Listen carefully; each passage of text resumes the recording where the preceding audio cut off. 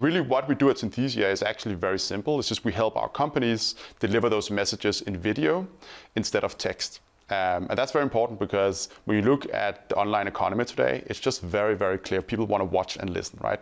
It's almost becoming table stakes now if you want to land a message with someone that has to be video and audio, especially when you look at, at the younger generation. The problem with that, of course, always been that making video and audio content is much more labor intensive and much more expensive in dollars um, than it is to write an email to someone or say share a document. And so what we've done is, is kind of two things. We've invented technology where you can make videos with AI. Um, and we've done it, we made it so easy that it's kind of like making a PowerPoint.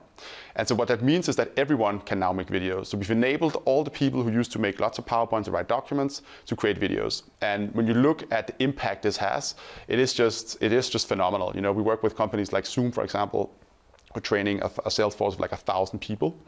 Um, and the efficiency gains that they see and the reduction reduction in cost of creating that content is just huge, right? And you talked about translation. Yeah. You've also launched an AI dubbing yes. piece of software as well, or product.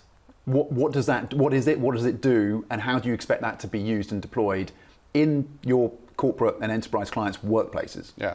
So translating video historically has been very difficult, right? Um, most of the time it's done with subtitles.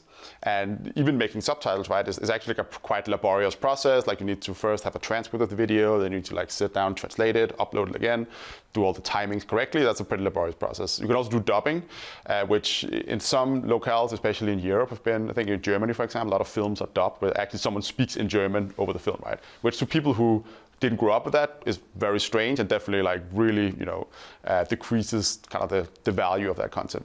With AI dubbing, we've made it very simple. So you simply just drag and drop whatever video you have into our system, and then what we do is we automatically transcribe the video, right? So we have all the text. We translate it with machine translation, which is by now like really high quality. We clone the voices of the speakers in that video, and then we translate whatever language that you want to have it in right? It allows you to take any video, say this one from Bloomberg Tech Europe, Welcome back to Bloomberg Tech Europe. Now, SAP's recent growth has been powered by a pivot to the cloud, with the company leaning heavily into artificial intelligence. Then, with the click of a button, the tool translates the video into a language of your choosing, with reanimated facial expressions and lip movements. How about Ukrainian? Вітаємо знову на Bloomberg Tech Europe.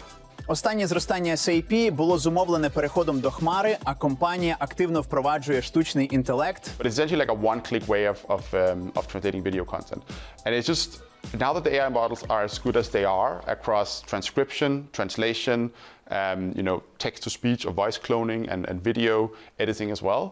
It's just phenomenal the results you get out, right? So you can imagine you can take all the videos you already have and instantly make them available in, in, in 12 different languages. In 12 different languages. You're also updating, you have a next generation avatar that yeah. shows full body movement as yeah. well, that aligns with what that avatar is saying, the content of that yeah. speech. Where do you expect that to be used? What is the use case for that? It, does a couple of different things. So the first one is just um, increasing the kind of floor quality of all videos that are made with Synthesia. So if you look at, look at the videos we made, you know, four years ago, the avatars were not as good quality, the voice was not as good quality. Still had a use in, in, in a lot of you know use cases. Um, but the quality could be better, right? And all those videos that people have already been making, so the, all this, the use cases we serve today, customer support, mm-hmm. product marketing, training, learning, etc., all those are just going to be better because the video is going to be better, right? And that's going to result in increased engagement for whoever's watching that video. So there's kind of one dimension of this just being more of what it already is, but just better. And that's very clearly a thing.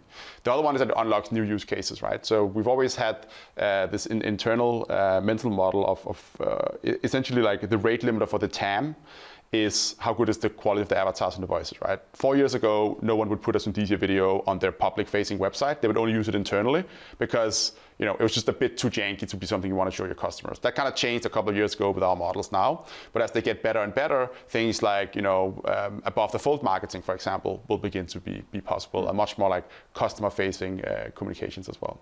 What will a walking, talking avatar that you can interact with yeah. and that can speak in 12 different languages. What will that mean, though, for jobs, the labour force, and your corporate clients in terms of their workforce?